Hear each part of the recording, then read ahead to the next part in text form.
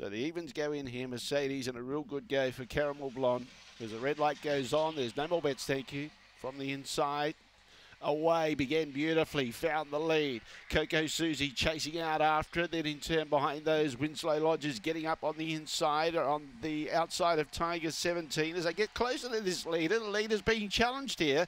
Slip away Whitey and then Stray Cat. On the inside, Caramel Blonde's got to find something. Susie on the outside. Oh, railed really well, Caramel Blonde. Got away from Coco Susie. Slip away Whitey made good ground to get in for third in front of Winslow Lodge, and the other two back together at the tail end of the field. Stray Stray Cat and Tiger 17.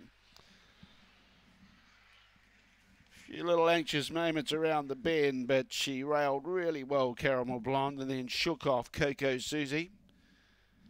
But Susie did throw out a pretty solid challenge.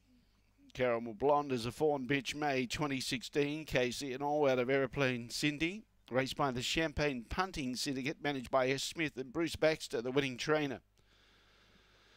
So she makes a successful start to racing here at Tara Raceway.